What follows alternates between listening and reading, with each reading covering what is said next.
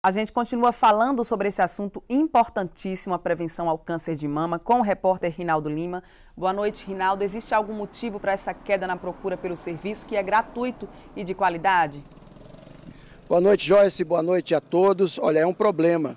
Segundo o Instituto Ivete Sangalo, cerca de 450 exames deixam de ser realizados por falta de procura por, de, de, por mulheres de entre 40 e 69 anos de idade. A gente está aqui com o doutor Adriano Bonafim, que é do Instituto Ivete Sangalo. Tem como explicar isso aí, essa baixa adesão? Eu sei que a luta de vocês é grande para aumentar né, a procura por essas mulheres.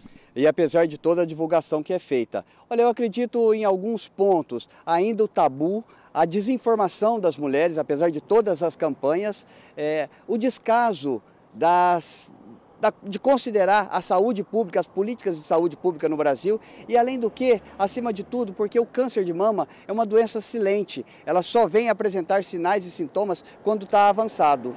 Pois é, vamos falar aqui de outubro rosa, que é o que importa aqui.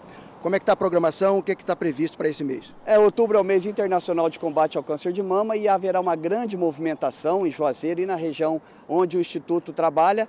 Teremos palestras educativas nas escolas, nos bairros, é, várias é, chamadas é, na mídia, tanto falada quanto escrita, e ter, teremos também uma caminhada, a caminhada, a sétima caminhada Outubro Rosa de combate ao câncer de mama, no dia 21 é, de outubro, no sábado, a partir das 16 horas, com um grande show, com trio elétrico, uma caminhada para realmente levantar o astral da mulher de 40 a 69 anos para que ela procure o instituto, faça o seu exame regularmente e combata essa doença que, quando diagnosticada precocemente, tem quase 100% de cura.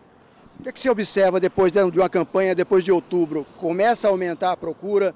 A conscientização realmente funciona? Esse mês a procura já é maior e depois vê, ah, vemos ah, o reflexo disso, que há uma, um, um, equilíbrio nas vagas oferecidas e a procura, só que acaba caindo no, no, no descaso, no esquecimento. Então eu friso, saúde da mulher, prevenção de câncer de mama não é só no outubro, é durante todo o ano.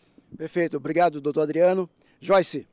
Obrigada, Rinaldo. Prevenção sempre. O BATV de hoje termina aqui. Uma boa noite para você e até amanhã.